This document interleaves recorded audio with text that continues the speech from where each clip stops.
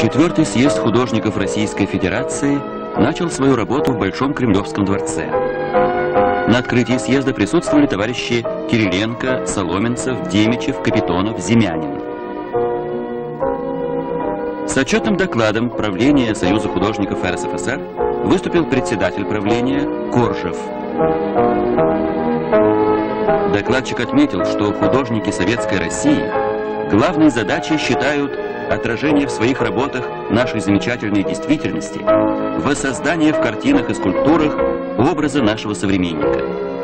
Художники в полной мере сознают свою ответственность за участие изобразительного искусства в дальнейшем подъеме советской культуры.